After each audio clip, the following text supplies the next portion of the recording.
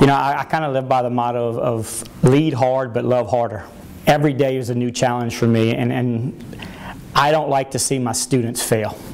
Um, and, and my students also know that they don't want to disappoint me you know and and I think when you care that much about your kids and you care about everything that you do um, it, it just makes for a great working environment great situation like I tell people all the time, in today's education world, you have to just be, you have to be able to, to handle whatever's thrown at you. I've been studying data for 20 years, you know, as, as a coach, and, and, and never really worried about my opponent. I worried about my team. Now I worry about my teachers and my students. Kids need to know that you care